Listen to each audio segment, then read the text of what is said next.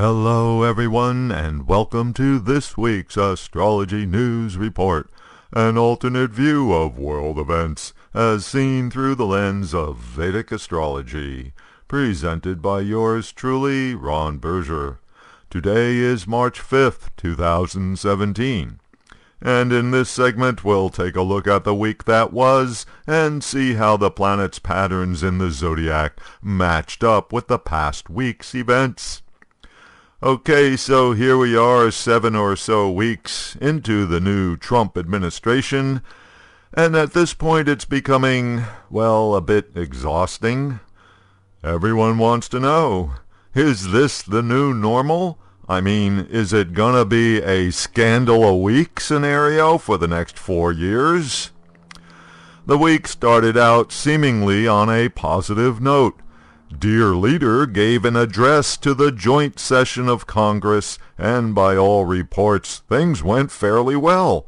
There were no abusive, bullying remarks, no new major lies. The tone was at least a five on the ten-point scale of presidential, and there weren't any embarrassing gaffes.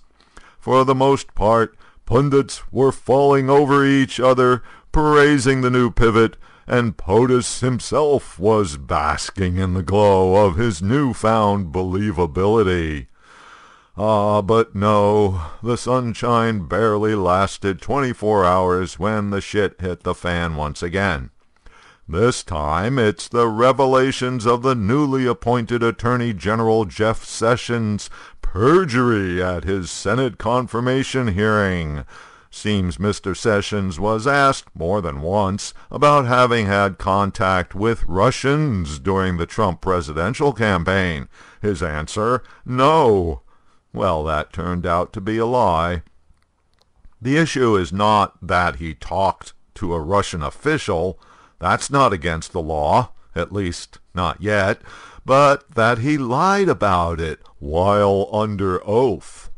This immediately captured the news cycle, headlines screaming that Sessions' head should roll, and so began another cycle of allegations, administration denials, media food fights, and so on, making the previous day's happy news about the reactions to the joint session address disappear like a mirage. And then, to cap things off and to divert everyone's attention, on Saturday, Mr. Trump unleashed another inflammatory pre-dawn Twitter rant, this time accusing President Obama of tapping the phones in the Trump Tower during the election campaign. Trump follows up by insisting on a congressional investigation, and so by Sunday, that's all everyone was talking about, and the Sessions mess got pushed out of the headlines. Okay, so what's going on in the zodiac during all this? Up in the heavens, the astrology clue was Mercury, planet of facts, logical thinking, reports, and the media conjunct Neptune, planet of fantasy, delusion, and deception. Not a good combination for truthiness, and not a good time for reasonable rational discussions either. But is this a temporary phenomena? Going back to the birth chart of the administration, based on the time of Trump taking the oath of office, we are reminded of how the chart features Aries rising, and the ruler of the chart, Mars, planet of action, being placed in the 12th house of endings, loss, hidden activities, and yes, conspiracies, and being placed at zero degrees, in other words, signaling an inherent weakness for getting anything accomplished. But this brings up another question. What is it in Mr. Trump's chart that makes him so paranoid about conspiracies against him? Not to say that there aren't any.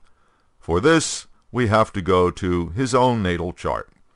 Well, first, he's got the problem of being Leo rising, sign of the king. The king is always vulnerable to betrayal. That is the nature of the king's court. So the king is right to be a bit suspicious.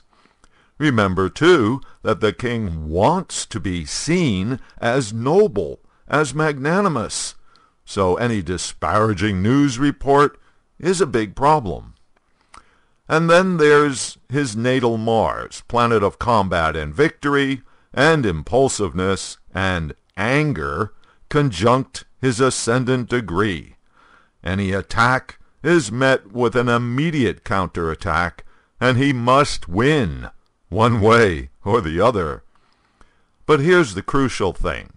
Notice Saturn and Venus conjunct in his twelfth house, a rather unusual combination. Saturn represents, for the Leo chart, the sixth house, the house of enemies. The twelfth house is the house of the subconscious and hidden activities.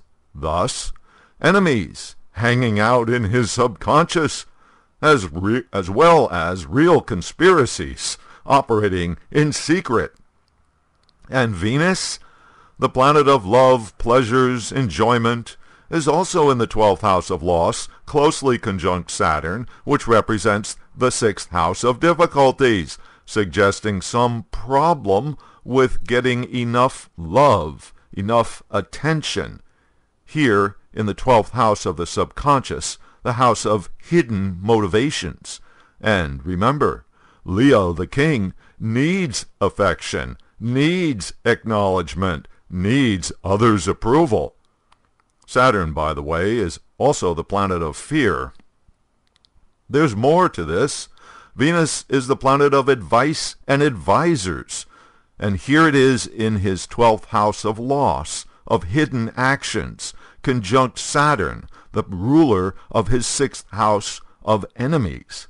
This combination suggests that the king's betrayal will in fact be from someone in his own court meaning Mr. Trump does have a reason to be paranoid.